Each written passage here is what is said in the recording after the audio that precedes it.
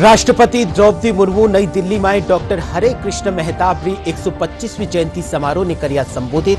कया डॉक्टर मेहताब री देश ने एकजुट करवा में री महत्वपूर्ण भूमिका। के संजय मूर्ति बनिया भारत का नियंत्रक और महालेखा परीक्षक। राष्ट्रपति द्रौपदी मुर्मू दिलाई पद और गोपनीयता री शपथ।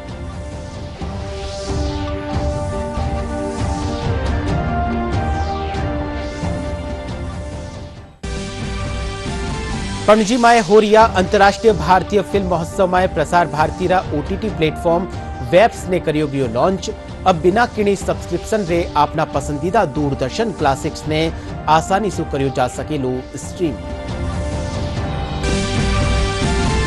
प्रदेश में सात विधानसभा खातर हुआ उपचुनाव री तेईस नवंबर ने वेली मतगणना। निर्वाचन विभाग मतगणना री सगली तैयारियाँ करी पूरी।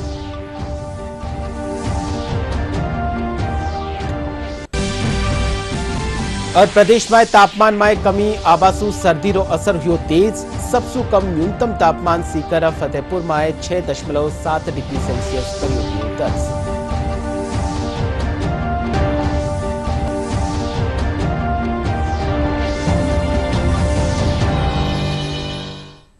नमस्कार, डीडी न्यूज़ राजस्थान रे, राजस्थानी खबरा रे, इन बुलेटिन में आप घने मानसु स्वागत है।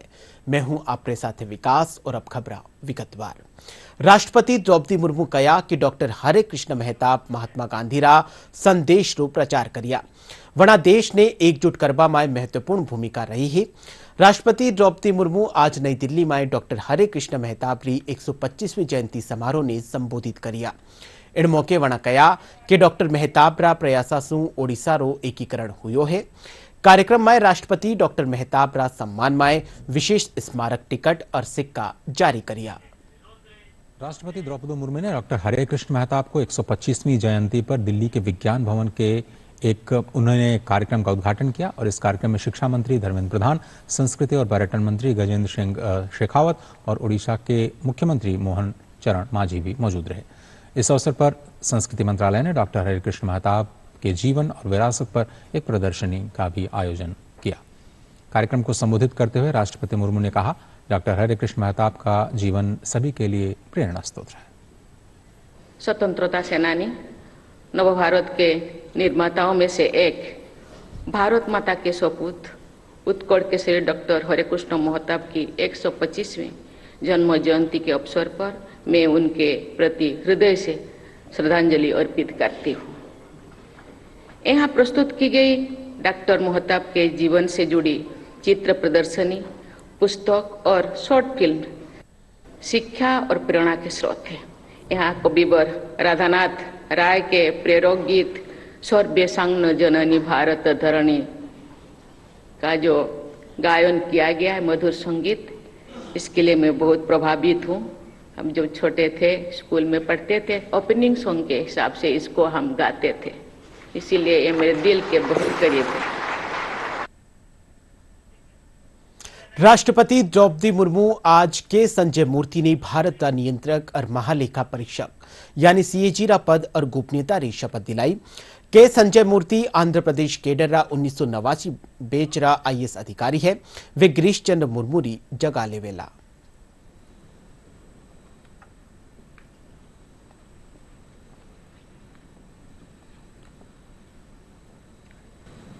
मैं मैं कुंड्रू संजय मूर्ति जो भारत का नियंत्रक महालेखा परीक्षक नियुक्त हुआ हूँ। जो भारत का नियंत्रक महालेखक परीक्षक नियुक्त हुआ हूँ। ईश्वर की शपथ लेता हूँ। ईश्वर की शपथ लेता हूँ। कि मैं विधि द्वारा स्थापित भारत के संविधान के प्रति कि मैं विधि द्वारा स्थापित भारत के संविधान के प्रति सच्ची श्रद्धा और निष्ठा रखूँगा। सच्ची श्रद्धा और निष्ठा रखूँगा। मैं भारत की प्रभुता और अखंडता अखुण रखूँगा। मैं भारत की प्रभुता और अखंडता अखुण रखूँगा। तथा तो मैं सम्यक प्रकार से और श्रद्धा पूर्वक तथा अपनी पूरी योग्यता ज्ञान और विवेक से। तथा मैं संपूर्ण प्रकार से और श्रद्धा पूर्वक तथा अपनी पूरी योग्यता ज्ञान और विवेक से अपने पद के कर्तव्यों का। अपने पद के कर्तव्यों का। भय या पक्षपात अनुराग या देश के बिना पालन करूँगा। भय या पक्षपात अनुराग या द्वेष के बिना पालन करूँगा। तथा तो मैं संविधान और विधियों की मर्यादा बनाए रखूँगा। तथा मैं संविधान और विधियों की मर्यादा बनाए रखूँगा।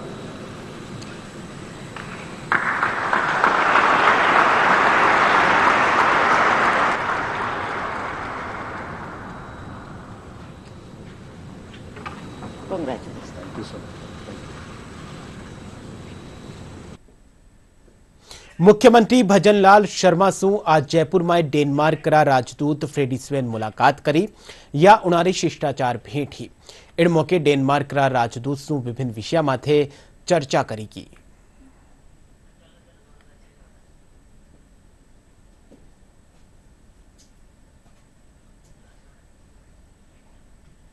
जयपुर में दो दिवसीय आईसीसी डेयरी इनोवेशन समिट रो चौथो संस्करण शुरू हो गयो।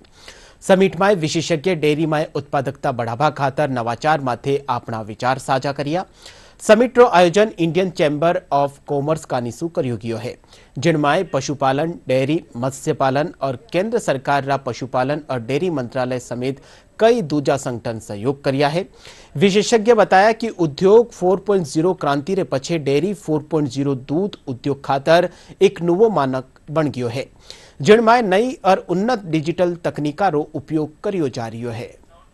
विषय है, जिससे कि हमारे छोटे से लघु किसान जिनके पास ज़मीन नहीं है, वो इस डेयरी व्यवसाय को अपना सकते हैं और उससे रोज़मर्रा के जो जितने भी खर्चे हैं, दूध को बेचकर उससे अपने खर्चे चला सकते हैं, बच्चों को स्कूल भेज सकते हैं और उससे न्यूट्रिशन सिक्योरिटी भी देश की बढ़ती है। और ये जो दो दिन का यहाँ सम्मेलन हो रहा है, उससे हमने ये देखना है कि अभी हमारे पास कितने गैप्स हैं, डेयरी इंडस्ट्री की आज क्या दशा है, उसमें कितनी आगे बढ़ाने की संभावना है।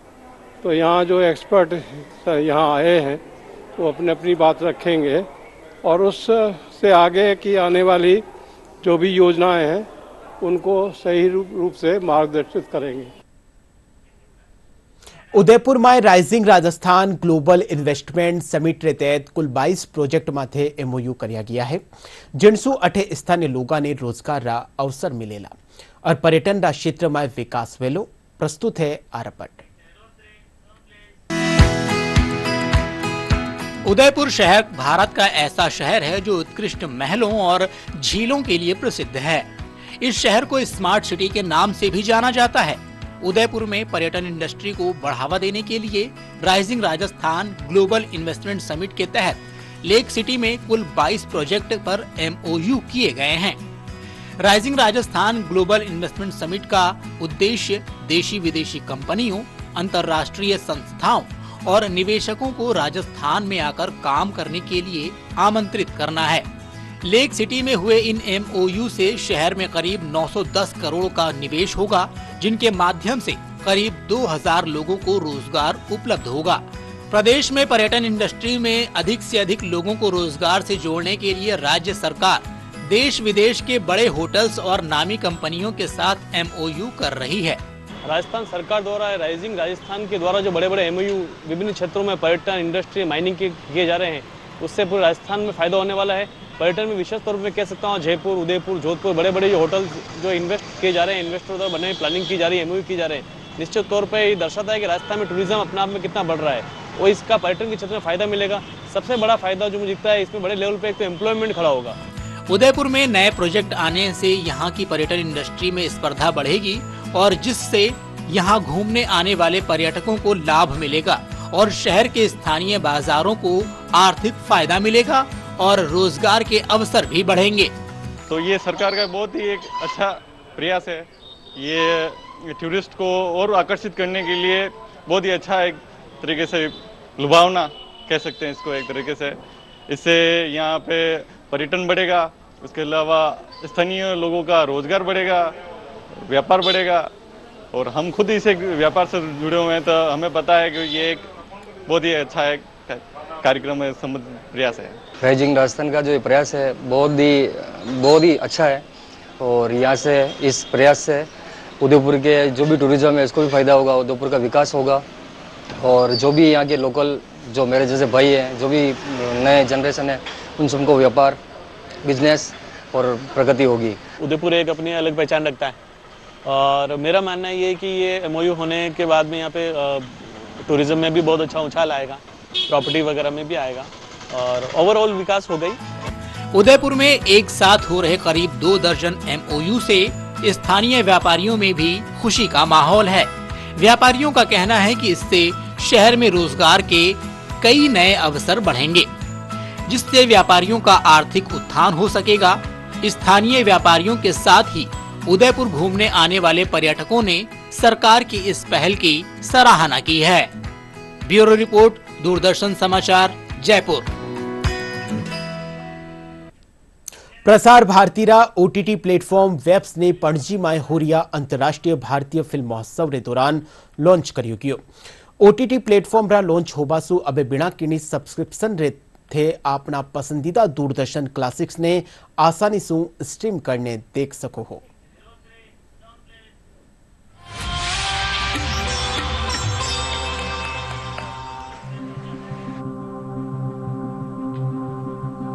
भारत की संस्कृति का दर्पण।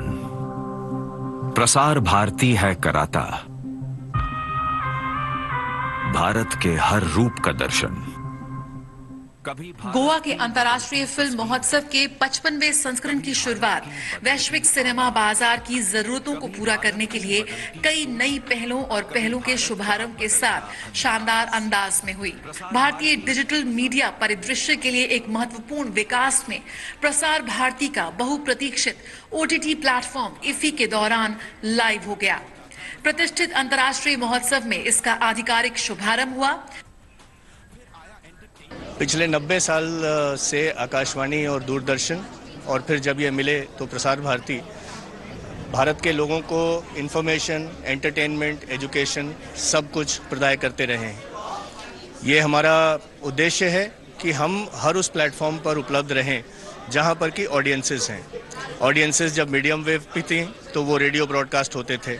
एफएम ब्रॉडकास्ट आए टेलीविज़न ब्रॉडकास्ट आए, कलर टेलीविज़न ब्रॉडकास्ट आए high definition telecom telephone television broadcast आए, इसके बाद फ्री डिश और सैटेलाइट के माध्यम से आए। तो अब चूँकि डिजिटल माध्यम से हमारी ऑडियंसेस काफ़ी कुछ कंटेंट प्राप्त कर रही हैं तो ये उचित ही है कि प्रसार भारती भी डिजिटल डोमेन में प्रवेश करे और इसके माध्यम से भारत भर में जो हमारे शहरों में, गाँवों में, सुदूर क्षेत्रों में जो लोग रह रहे हैं, उन तक अपना कंटेंट पहुँचा सकें। और जो भारतीय मूल के लोग हैं, जो अन्य देशों में हैं, जो भारत में रुचि रखने वाले लोग हैं, जो पूरी दुनिया में हैं, उनको भारत के समाचार, हमारी जो हिस्टोरिकल आर्काइव्स हैं, हमारे एंटरटेनमेंट प्रोग्राम्स हमारे नए प्रोग्राम्स हमारी फिल्म्स गेम्स ई शॉपिंग सब कुछ एक पैकेज में उपलब्ध कराएँ। प्रसार भारती का ओटीटी प्लेटफॉर्म दर्शकों को लाइव चैनल आर्काइवल फुटेज और ओरिजिनल प्रोग्रामिंग सहित विविध प्रकार की सामग्री प्रदान करने के लिए तैयार है। ये प्लेटफॉर्म परिवार के अनुकूल सामग्री पर भी ध्यान केंद्रित करता है, जिसका लक्ष्य सभी उम्र के दर्शकों के लिए एक संपूर्ण मनोरंजन अनुभव प्रदान करना है। प्रसार भारती हमेशा से एक परिवार मूलक कार्यक्रम रहा है, जिसमें सभी चैनल्स जो हैं, उन्होंने ऐसे कार्यक्रम प्रसारित किए हैं, जिन्हें आप अपने पूरे परिवार के साथ के, बैठ करके एंजॉय कर सकते हैं। आने वाले दिनों में भी हमारे यही प्रयास रहेगा कि जो हमारी लेगेसी है, जो हमारी हिस्ट्री है, उसको हम लोग और मजबूती से नए डोमेन में भी आगे बढ़ाएँ। ओटीटी प्लेटफॉर्म का लक्ष्य विरासत की तस्वीरों के खजाने सहित 2000 से अधिक शीर्षकों के अपने विशाल संग्रह को प्रदर्शित करने के लिए एक बाज़ार बनाना है। दूरदर्शन तो हमारे खून में था अब वेब हमारी सांसों में होगा। मतलब अच्छी बात है। इनसे सारी चीज़ें बहुत जगह सिनेमा पहुँचती हैं। इन ओटीटी प्लेटफॉर्म वेब्स माते आप सगळारो पसंदीदा चैनल डीडी राजस्थान भी उपलब्ध है। आप डीडी राजस्थान रा सगला कार्यक्रम भी इन ओटीटी प्लेटफॉर्म वेब्स माथे देख सको हो। ચાલો बढ़ा अगली खबर रही और प्रदेश में सात विधानसभा खातर हुआ उपचुनाव री मतगणना तेईस नवंबर ने वेली। इनके तहत झुंझुनू विधानसभा उपचुनाव री मतगणना अठेरा सेठ मोतीलाल कॉलेज परिसर में वेली। रिटर्निंग अधिकारी हवाई सिंह यादव बताया कि मतगणना सुबह आठ बजे से शुरू वेली। सबसे पहली पोस्टल बैलेट मतपत्रा री गिनती करी जावेली। इनके पछे बारह राउंड टेबला माथे बाईस राउंड में मतगणना वेली। वना बताया कि मतगणना री सगली तैयारियाँ पूरी कर ली है।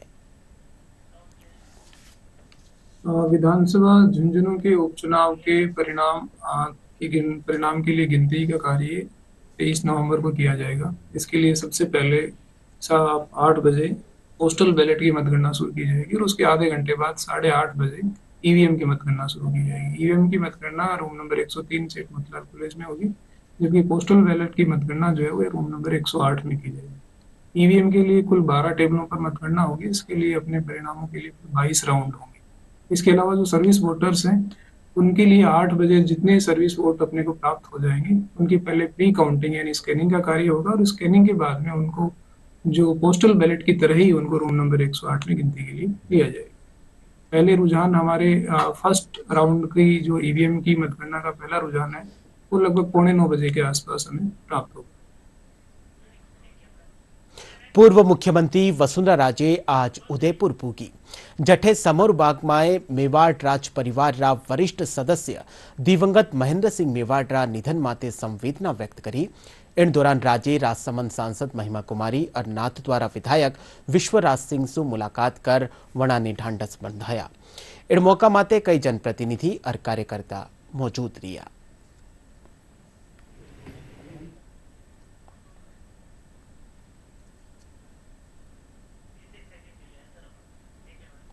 पालीमाय राजस्थान राज्य भारत स्काउट गाइड रो जिला स्तरीय चार दिवसीय प्रशिक्षण शिविर रो आयोजन करियो जा रही है। स्काउट गाइडरा सीईओ गोविंद मीणा बताया कि शिविर में जिलारा 102 स्कूलासु चार सौ सड़सठ स्काउट गाइड भाग ले रिया है। शिविर आज समापन वेलो। वणा बताया कि इन प्रतिभागिया मायसू राष्ट्रपति और राज्यपाल अवार्ड खातर कुछ छात्र छात्राओं रो चयन कियो जावेलो स्काउट गाइड संगठन पालीरा अध्यक्ष महेंद्र बोहरा कया कि स्काउट गाइड देश निर्माण में आपनो उत्कृष्ट योगदान निभावे है। वे जीवन में परहित खातर सेवारी मिसाल कायम करे है। शिविर में स्काउट गाइड ने मैपिंग, लेसिंग, कंपास समेत कई गैजेट बनावारो प्रशिक्षण दियो गयो। इसमें पूरे ज़िले से पाली ज़िले से 102 स्कूलों से 467 स्काउट आए हुए हैं। चार दिवसीय इस कैम्प में राज्य पुरस्कार का जो पाठ्यक्रम होता है इनका, पाठ्यक्रम के अनुसार इनकी 16 प्रकार की लिखित टेस्ट, उसके अलावा मौखिक टेस्ट और मौखिक टेस्ट के साथ में इनके प्रैक्टिकल और जो, एज पर इनका सिलेबस है, उसके अनुसार इनकी लॉग बुक की जाँच और सारी चीज़ें इसकी की जा रही है। सुबह छह बजे से लेके रात को आठ बजे तक इनका वो चलता है प्रोग्राम शेड्यूल अलग अलग और अलग अलग हमारे पास सोलह एग्जामिनर है। जो इनका असेसमेंट करते हैं और ये सारा आ, करवाते हैं। तो हमारा टेस्टिंग कैंप स्टार्ट होने वाला है राज्य पुरस्कार का। इससे पहले हमने राज्य पुरस्कार का कैंप किया है। इसी के संबंध में हम यहाँ पे टेस्टिंग कैंप देना है। इसके लिए हमने लॉग बुक भी तैयार की है। लॉग बुक में बहुत अलग अलग प्रकार की एक्टिविटीज़ भी की है प्रोजेक्ट किए हमने प्रार्थना सीखी है हमने नियम वगैरह सब सीखे हैं। फ्लैग का प्रोसेस सीखा है हम लोगों ने। टेंट बांधना जैसे रस्सियाँ बांधना ये सब सीखे हैं। प्राथमिक चिकित्सा कैसे होती है वो भी हम लोगों ने सीखी है। हमने सेवा का भाव सीखा और ध्वज की प्रतिज्ञा प्रार्थना काफ़ी कुछ सीखा चल रहा है यहाँ साढ़े पाँच बजे उठते हैं हमारे तक वोटिंग होती है उसको करवाते हैं और कुछ बोलते हैं हम सुनते हैं। काफ़ी कुछ होता है। भारतीय खाद्य निगम गेहूंरा न्यूनतम समर्थन मूल्य में बढ़ोतरी करी है। इनके तहत लाडला वर्ष की तुलना में समर्थन मूल्य में 150 रुपया की बढ़ोतरी करता थका 2,425 रुपया प्रति क्विंटल करियो कियो है। सहकारी समितियारा डिप्टी रजिस्ट्रार राजेंद्र प्रसाद दायमा बताया कि अगला साल मार्च से जून ताई अजमेर मंडल में ग्यारह केंद्र माथे समर्थन मूल्य माथे गेहूँ की खरीद करी केकड़ी और कादेड़ा ने भी शामिल है।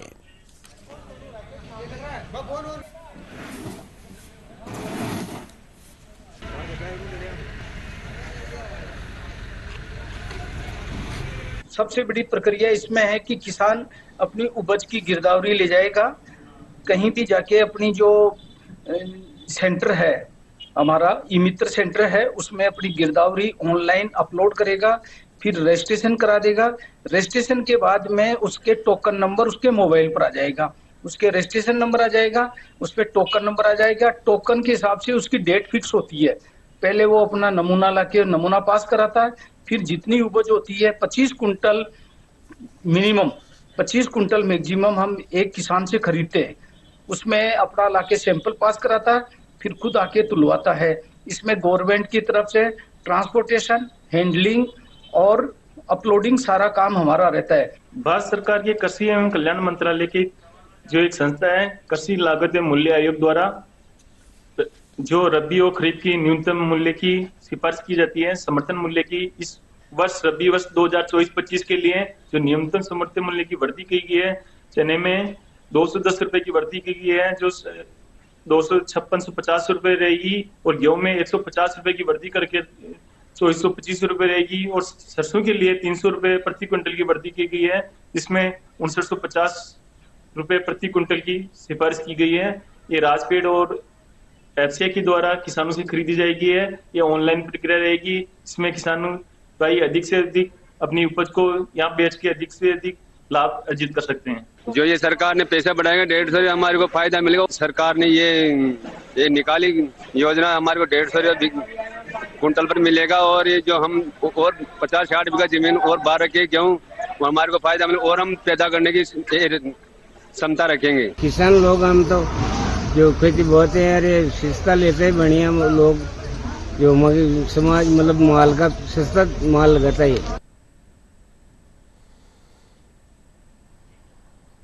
अतिरिक्त पुलिस महानिदेशक अशोक राठौड़ आज बूंदी પૂગ્યા જઠેવણાનો પોલીસ અધિક્ષક કાર્યાલયમાં વ્યવસ્થાવાનો જાયજો લેવણની સાથે સાથે જિલ્લારા અધિકારીની भी बैठक ली बैठक में एडिशनल डीजीपी पुलिस अधिकारिया जनता से जुड़ाव रखवा और उणारी समस्या समाधान करण निर्देश दिया इन दौरान Kota range IG Ravi Dutt Bundi police अधीक्षक राजेंद्र मीणा और अतिरिक्त पुलिस अधीक्षक उमा शर्मा समेत कई अधिकारी मौजूद रिया। जो हमारा व्यवस्था है जिसमें वार्षिक निरीक्षण ज़िले का होता है तो उस संदर्भ में आज सभी अधिकारियों के साथ बैठ के एक चर्चा की गई कि क्या क्या ऐसे बिंदु हैं जिनमें हम और सकारात्मक तरीके से कार्य करें, जिससे हमारी पुलिसिंग व्यवस्था और सुदृढ़ हो। सभी बिंदुओं पे ये चर्चा हुई और अल्टीमेटली जो हम काम करते हैं वो है आम जन के लिए। तो आम जन को हम किस तरह से और बेहतर पुलिस व्यवस्था प्रदान कर सकें? तो इसका उद्देश्य यही था। साथ ही दमा और अस्थमा मरीजा की संख्या भी बढ़वा लागी है। अपना आहार और दिनचर्या में परिवर्तन कर मौसमी बीमारियों से बचो, बचियो जा सके है। सर्दी के दौरान कया आहार, दिनचर्या रखा और इन बारे में जानकारी दी है जयपुरा प्राकृतिक चिकित्सालय रा सचिव डॉक्टर कुलभूषण बेराठी। मौसम में परिवर्तन के साथ ही रोगों की संख्या भी बढ़ने लगी है। दमा और अस्थमा के जैसे मरीज़ बढ़ने लगे हैं। आज हमारे साथ में मौजूद हैं प्राकृतिक चिकित्सालय के सचिव कुलभूषण बैराठी। आइए इनसे जानते हैं इस मौसम में कैसे रोगों से बचा जाए। अभी जो मौसम में परिवर्तन आया है, उसके बाद में मरीजों की किस प्रकार की मरीजों की संख्या बढ़ी है? देखिए, प्राकृतिक चिकित्सालय में इस समय जो है, जैस ब्रोनकाइटिस है, अस्थमा है, जॉइंट पेन है, ऐसे शीतकालीन ऋतु में ऐसे रोगियों की संख्या बढ़ जाती है, क्योंकि ऐसे रोग, रोगी को ज़्यादा प्रभावित करते हैं शीतकालीन ऋतु में। तो हमारा शरीर पंच तत्वों से बना है। तो हम पंच तत्वों के माध्यम से जैसे मिट्टी चिकित्सा है, जल चिकित्सा है और आकाश, धूप, प्रकाश, इसके द्वारा हम प्राकृतिक चिकित्सा के माध्यम से इन रोगों का उपचार करते हैं। यदि कोई अस्थमा से पीड़ित है, दमा से पीड़ित है तो जिस प्रकार जल चिकित्सा में हम गर्म ठंडा सेक देते हैं उनको, मिट्टी चिकित्सा में मिट्टी की पट्टी का प्रयोग किया जाता है, जिसमें गर्म पट्टी का भी प्रयोग किया जाता है, ठंडी पट्टी का, मिट्टी पट्टी का भी प्रयोग किया जाता है। कटी स्नान है, भाप स्नान है, चद्दर लपेट है, पाद स्नान है, हस्त स्नान है, इस प्रकार फुल टब बात जो कि गर्म पानी से, ठंडे पानी से ठंडा और गर्म कटी स्नान निवाया कटी स्नान ये अनेक ऐसी प्राकृतिक चिकित्सा पद्धतियाँ हैं जिसके माध्यम से इन रोगों से निदान पाया जा सकता है। आम आदमी इसमें किस प्रकार अपनी दिनचर्या को बदले कि वो इन रोगों से पीड़ित ही ना हो? देखिए हमें प्रकृति की ओर बढ़ना चाहिए। प्रकृति के नियमों का पालन करना चाहिए। जिस प्रकार प्रकृति के अनुसार मौसम बदलते हैं शीत ऋतु आती है ग्रीष्म ऋतु आती है वर्षा ऋतु आती है ऐसी स्थिति में हमें उसी ऋतु के अनुसार अपनी दिनचर्या को अपनाना चाहिए। विपरीत प्रकृति के जाकर हम स्वस्थ नहीं रह सकते। इस दौरान खान पान में हमें क्या अपने ध्यान विशेष रखना चाहिए? क्योंकि खान पान का बड़ा महत्व होता है। प्राकृतिक चिकित्सा में तीन चीज़ों को श्वेत जहर कहा जाता है नमक मैदा और चीनी। ये शरीर को बहुत ही नुकसान पहुंचाते हैं। यदि जितना आप इनसे बचेंगे, जितना आपका शरीर जो चीज़ जिसको पचा सकता है, जो हमारे शरीर के लिए उपयोगी रहेगा वह केवल प्राकृतिक सब्ज़ियाँ हैं, फल हैं, उनका प्रयोग करेंगे तो निश्चित रूप से आप आहार के माध्यम से। और कम खाएँगे तो स्वस्थ रहेंगे, अधिक खाएँगे तो रोगी रहेंगे। दिनचर्या और आहार में परिवर्तन करके आप बेहद स्वस्थ रह सकते हैं। कैमरा पर्सन हनुमान जायसवाल के साथ मैं जया गुप्ता, दूरदर्शन। પ્રદેશના કઈ શહેરામાં વાયુ પ્રદૂષણની સ્થિતિ इन दिना गंभीर बन्योड़ी है इन चालता जयपुर भिवाड़ी सीकर और श्रीगंगानगर में वायु गुणवत्ता सूचकांक रेड जोन में पूक्यो है राज्य पांच शहर में खराब एक्यूआई रे पीछे रोड डस्ट ने मुख्य कारण बतायो जा रही है राजधानी जयपुर में भी सबसे ज्यादा खराब एक्यूआई तीन सौ तैतालीस मानसरोवर क्षेत्र में दर्ज करो है वायु प्रदूषण की स्थिति ने देखता थका राज्य सरकार अलवर और भरतपुर जिला में ग्रेडेड रेस्पॉन्स एक्शन प्लान रा चौथा चरण की पाबंदियाँ ने लागू करवारो निर्णय लियो है। हालाँकि आज कई शहर में वायु प्रदूषण का स्तर में सुधार दर्ज करो गयो है। चार दिन के बाद आज मतलब वैसे 21 तारीख को है। एयर क्वालिटी में ज़रूर मतलब काफ़ी सुधार हुआ है। खास तौर पर अपना अलवर में मतलब अभी लेस देन 150 है। भरतपुर में भी लेस देन 150 है ये। और भिवाड़ी में भी 300 के नीचे है मतलब आज के सुबह के मतलब एयर क्वालिटी इंडेक्स है ये। तो प्रयास तो हम पूरा मतलब सभी डिपार्टमेंट के साथ कर ही रहे हैं। उसमें भी सभी जिला कलेक्टर्स को भी आमंत्रित कर कर और सभी को डायरेक्शन भी जारी किया था। तो सभी स्टेक होल्डर द्वारा इसमें पूरा प्रयास कर रहे हैं इसमें तो उसी वजह से भी मतलब काफ़ी एयर क्वालिटी में बहुत सुधार हुआ है इसमें। खबर मौसम शू है, प्रदेश में सर्दी रो असर तेज हो गयो है। रात रे पछे अब दिन रो तापमान में भी गिरावट दर्ज करी जा रही है। प्रदेश कई शहर में न्यूनतम तापमान 10 डिग्री सेल्सियस सु कम रिकॉर्ड करो गयो। प्रदेश में सबसे कम न्यूनतम तापमान सीकर फतेहपुर में छह दशमलव सात डिग्री सेल्सियस दर्ज करो गयो। और बुलेटिन रे अंत में मुख्य खबर, एक फेरो। राष्ट्रपति द्रौपदी मुर्मू नई दिल्ली में डॉक्टर हरे कृष्ण मेहताब री 125वीं जयंती समारोह ने करिया संबोधित। कया डॉक्टर मेहताब री देश ने एकजुट करवा में री अहम भूमिका। के संजय मूर्ति बनिया भारत का नियंत्रक और महालेखा परीक्षक, राष्ट्रपति द्रौपदी मुर्मू दिलाई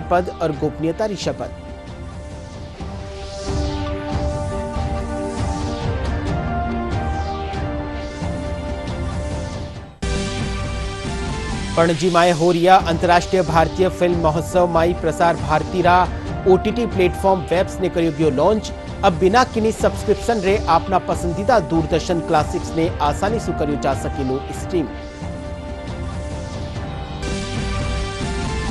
प्रदेश में सात विधानसभा खातर हुआ उपचुनाव री तेईस नवंबर ने वेली मतगणना निर्वाचन विभाग मतगणना री सगली तैयारियाँ करी पूरी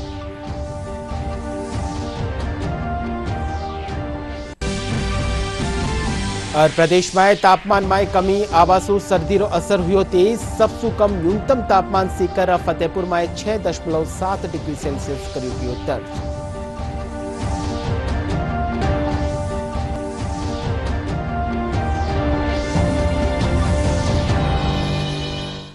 डीडी राजस्थान सोशल मीडिया रा सगला प्लेटफॉर्म और ओटीटी प्लेट प्लेटफॉर्म वेब्स माथे भी उपलब्ध है। आप वठे भी डीडी न्यूज़ राजस्थान रा सगला कार्यक्रम ने देख सको हो। फ़िलहाल राजस्थानी खबर बुलेटिन अठई पूरा आप देखता रहो डीडी राजस्थान। नमस्कार।